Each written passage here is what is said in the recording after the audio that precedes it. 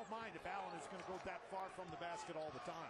Just finishing up on what Sam was talking about. This San Diego State State team was ranked in the top 25 all season long. We talked about the numbers of fast break points, points in the paint. Defensively, timely buckets, and doing a good job of scoring.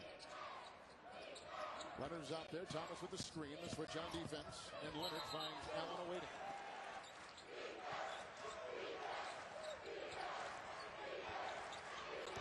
Shelton and Leonard. Corkscrews in. Line in that game a couple weeks ago at San Diego State. The only way BYU gets off that menu is if you run up and down the floor. And what San Diego State did so well this year was win on other people's home floors. That's what they deserve an immense, immense